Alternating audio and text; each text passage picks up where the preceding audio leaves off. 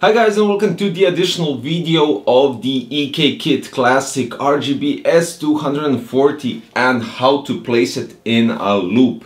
It's practically very easy and I've done it in let's say 5 minutes because there's no hard tubing. You have soft tubes, you have to place the uh, pump and reservoir uh, on certain point you have to place the water block CPU water block on the CPU which is almost like placing any other cooler and then you have to place the radiator. Uh, additional to that uh, placing the pipes is fairly easy much easier than standard hard tubing but to be honest this was my first soft tubing loop. Now the thing is uh, last time I didn't mention and it's not that I forgot I didn't I just didn't want to mix it with the EK Classic kit now you can now buy for um, you know to give a bit of a color to everything. You can get the EK Cryofuel dye, pack which consists of red blue and yellow and you can mix it up and do all sorts of crazy stuff to your clear uh, EK Cryofuel now you can mix you can pick you can adjust you can do everything with this. But this is just here for mentioning. Today we're going to talk how to do this. Now this is it. This is the cpu block the ek supremacy classic rgb and the pump is ek res 140 spc pwm classic rgb pump and res combo. Now to stop talking about nonsense and uh, stuff like that let's turn on the pc and let me show you what i actually did here If I want, this could be RGB madness right here and until uh, operational system boots, uh, the RGB is going crazy definitely. But I placed everything to have a you know, light uh, blue uh, color that kind of fits the whole scheme. I could go with white exactly because it would fit the whole white case, white, black RGB, chrome uh, cables and stuff like that. But that isn't the point. The thing is, you could connect everything with the 4 connector splitter for the RGB and you could connect the CPU block, the two fans on the top that are EK Vardars 120 millimeter and you can connect the pump as well and you know you can synchronize it. As you can see everything is in light blue white color except for the graphic card that needs additional uh, Sync software but nevertheless I connected everything to the motherboard so when you install the Asus Aura Sync you could manage all the lights as you wish. So you could go RGB Madness, you could go Spectrum, you could go fade in and fade out, breed, whatever you wish, you could manage it. And as you can see, the colors are really nice and vivid. Not, now when it comes to placing everything and filling everything and to get a certain loop and stuff like that, First you need to place the CPU water block on the CPU, place the motherboard inside, trying to um, take into consideration how you're going to plan the loop. Since the reservoir is already on top of the pump, you don't need to manage that, it just does everything for you. Otherwise, if the reservoir was detached from the pump, so you have a separate pump and the reservoir, the reservoir has to be always on top of the pump because when you fill in the loop, coolant needs to go directly to the pump so it doesn't run dry. And that's not good for the pump because definitely it will stop working. Now as for the radiator, you can place it anywhere you wish. Since we're talking about 240, that means either on front if it's a different case or on top, eh, which is quite alright.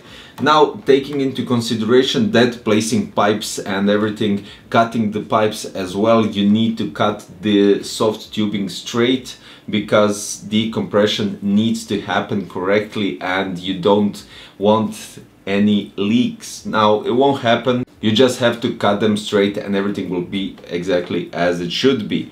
Now when it comes to placing the soft tubing on the fittings, the thing is, which is fairly easy, you just need to put a little bit of water, a little bit of moisture on the top of the pipe so it nicely fits into the top of the fitting. After that you place the top of the fitting and screw it on top of the original fitting that is either on the block or on the radiator or or on the pump which makes a nice tight uh, security for the soft tubing for the soft tube that it won't go out of its position now as I mentioned on the last video on the CPU block and on the pump you have inlet and outlet written on it so you can't make a mistake how to make the loop. So it's fairly easy. I usually do it like this. Radiator cools the water. Water goes directly to the reservoir which accumulates more cold water and it gives the CPU just enough to cool it down. Now you can manage any other way, it doesn't matter actually, I tried everything, but I prefer doing it like this because more cool water, more cooling. Now the difference might be in few degrees, but it's not noticeable, but hey, it's up to you to do it as you wish. Then I did it like so. From the radiator it goes directly to the pump. From the pump it goes outside to the CPU block which has the inlet already written in so it has in and out and then the out from the CPU block goes back to the radiator. Now this is a really cool set because as I said you can manage this in five minutes not talking about some extra stuff for doing some crazy loops with soft tubing even though you could do as you can see right here. But it's fairly easy to manage it now talking about the temperatures, we're going to connect it and we're going to see some temperatures in game and in idle. Okay guys, now here is the thing. We tested PUBG on ultra settings, we tested Battlefield 1 on ultra settings and I ran Time Spy in 3D Mark in 2K resolution or is it 4K? I don't know. Uh, well, the resolution was really high. Now I'm running here an extreme processor on X299 motherboard, so this is Intel Core i7-7820X, so basically uh, it's uh, stronger than other uh, normal gaming processors. Basically we had testing in PUBG, so there was like 30% load on ultra settings and we had like 50 51 Celsius and idle on the processor. The temperature is 35 36 now when it goes to Battlefield 1 also ultra settings full HD we had temperatures around 52 51 52 maybe but the load is also the same. So I had to, you know, benchmark it a bit more, uh, add more stress to the CPU. Now, when we go into uh, 3D Mark, the Time Spy, and you get a full load on the CPU, I have to mention again, this is 7820X i7 Intel Core.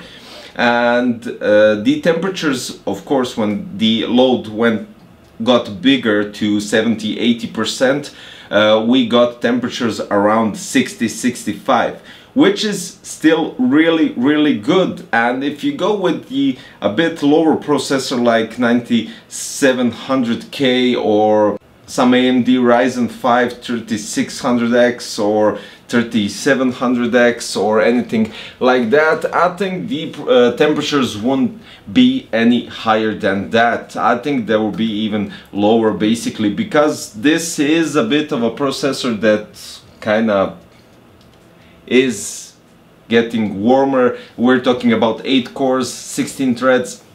And when I had my custom loop on this processor idle uh, was uh, 28 29 but I had like two radiators. One was PE 360 and the other one was SE 360 with two graphic cards still going 50 55 on full load. So guys yeah I mean it's really incredible. The thing is, the the EK Kit Classic RGB S240 is really nice. And the thing is, in their specification, I know they tested it a lot. They did test uh, addition to adding the GPU. You can add a GPU but uh, adding uh, more stuff to it. For instance, uh, overclocking is not possible with the S240. Uh, with S360 you can add two GPUs under water block. And talking about overclocking, you can overclock either processor or the GPU. When we talk about classic P240 you can add GPUs as well and you can